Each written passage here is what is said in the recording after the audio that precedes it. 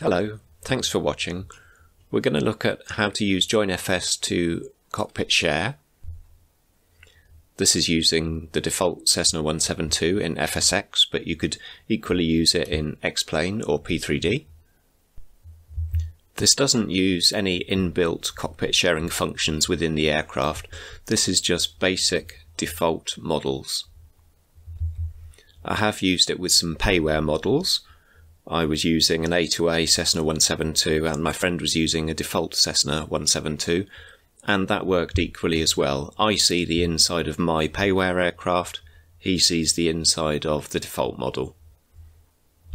So we've got two aircraft loaded up here, connected to JoinFS on the same hub so we can see each other at the end of the runway.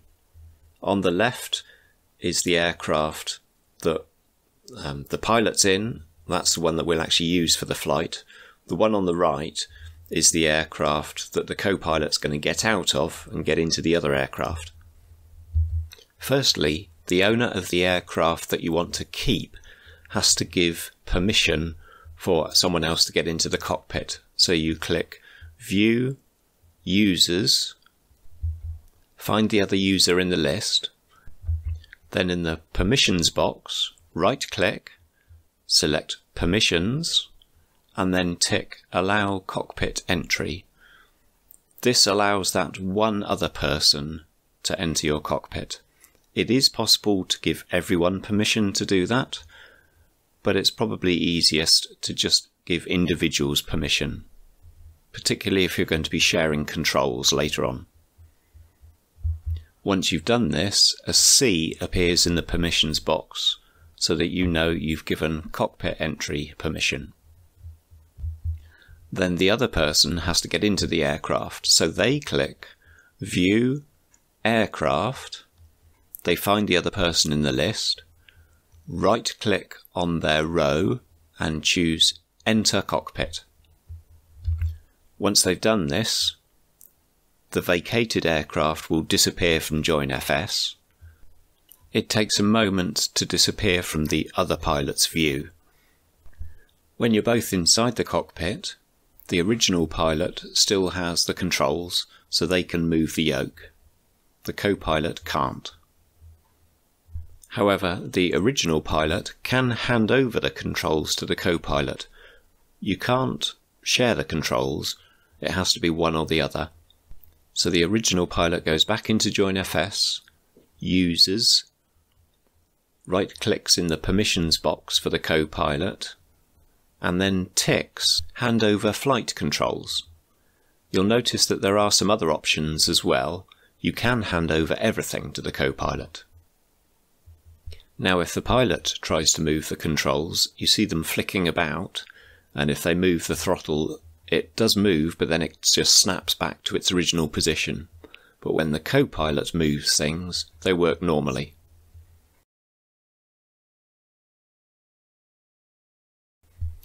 Let's take back the flight controls now, and a more realistic scenario would be to hand over the navigation and autopilot to the co-pilot.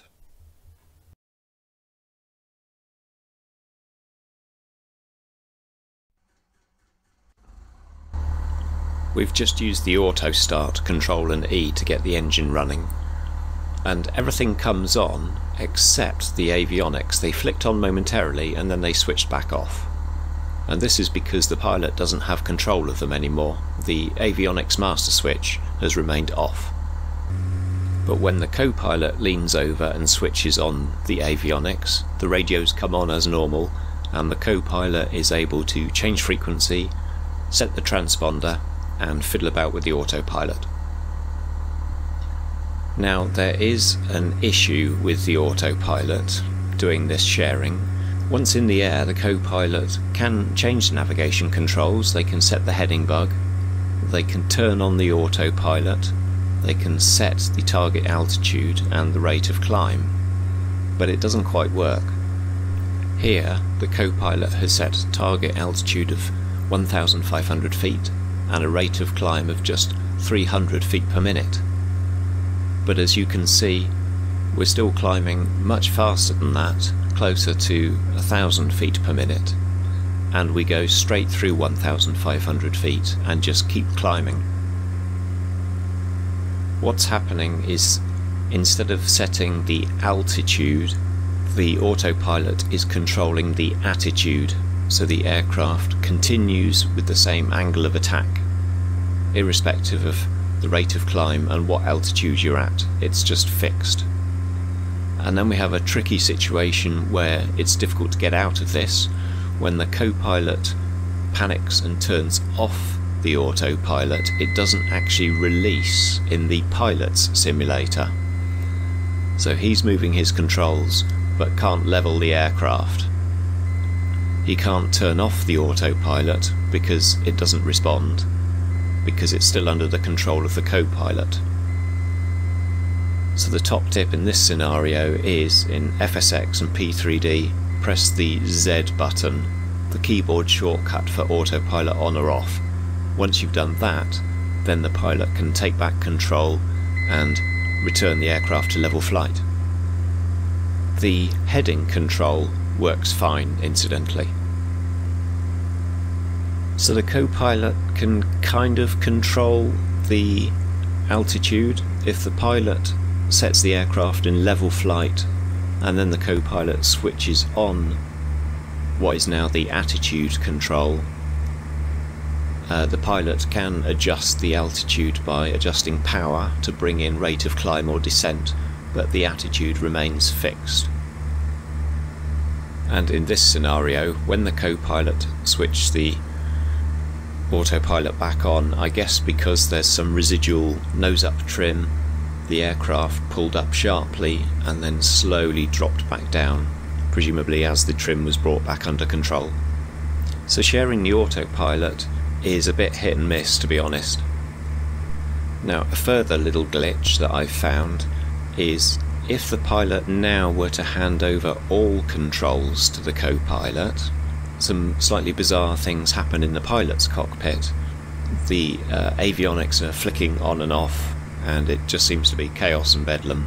However, in the co-pilot simulator, everything's fine. Now they've got total control of the aircraft, they can turn on the autopilot and it works normally. What I've found is that if the pilot did want to give total control to the co-pilot, that should be done on the ground with both aircraft started up and running uh, before the flight begins changing controls uh, up in the air sometimes seems to be, give some erratic results.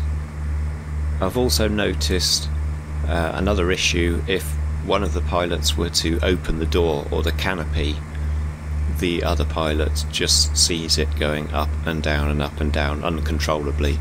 And even when the original pilot then closes the door or the canopy, it just keeps opening and closing in the other aircraft.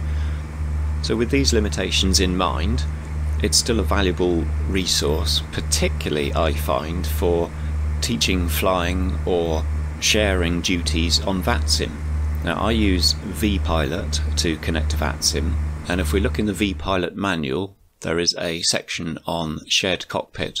They also call this observer mode. Clicking on that takes you to the details and the reason why they're calling it observer mode is that when you follow the procedure, one of the pilots will effectively become invisible. So the instructions they give is that the first pilot should connect normally, then the second pilot should connect in observer mode, and they should use the same call sign but with an A appended on the end. I guess this means that when they appear in the controller's list, they're together and the controller can see that they're doing shared cockpit. But because the second pilot is in observer mode, there will only be one blip, uh, one aircraft on the controller's radar. So Fred on the left is going to be the one not talking to ATC, so he's decided to be the invisible person. He's using the aircraft's call sign, but he's put an A on the end, and he's ticked the box that says connect in shared cockpit mode.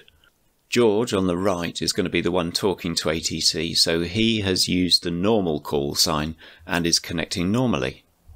So by connecting to JoinFS for the cockpit sharing and through the pilot client to VATSIM, you can cockpit share on VATSIM no problem. Uh, I do it quite a lot. In fact, we've done it so that both of us have ended up talking to ATC at different times, and the controller seems to be quite happy with that. There doesn't seem to be any issue with both pilots talking. Okay, that's it. Bye bye.